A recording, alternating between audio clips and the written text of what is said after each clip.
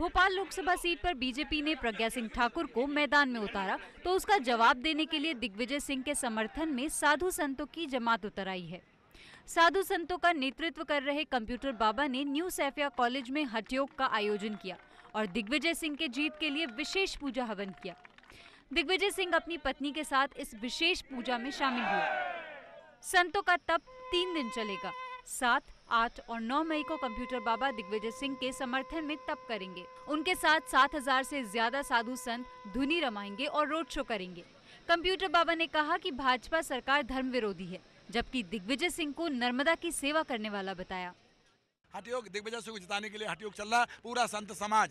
कांग्रेस को समर्थन कर रहा है और दिग्विजय सिंह को जिताने का आशीर्वाद दे दिया। राम मंदिर नहीं तो मोदी नहीं का नारा है।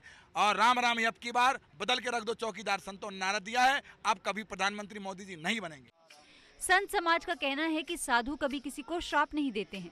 संत समाज इस बार पूरी निष्ठा के साथ दिग्विजय सिंह के साथ है और उन्हें ज़रूर जीत मिलेगी। यहाँ पर बहुत बढ़िया चल रहा है। भगवान की कृपा से यज्ञ हुआ अनुष्ठान हुआ है। कंप्यूटर बाबा ने अनुष्ठान किया है अपनी धुनी तपी हट योग है साधु का। साधु जो योग करना चाहते हैं वो कर लेते हैं स्वतंत्र रहता है साधु। के समर्थन में कंप्यूटर बाबा है उन्हीं के समर्थन में सभी संत महात्मा है। वहीं महाराष्ट्र के पूर्व डिप्टी सीएम और राष्ट्रवादी कांग्रेस पार्टी के नेता छगन भुजबल ने दिग्विजय सिंह की तारीफ़ की। उन्होंने दिग्विजय सिंह को सुलझा हुआ और ईमानदार राजनेता बताया।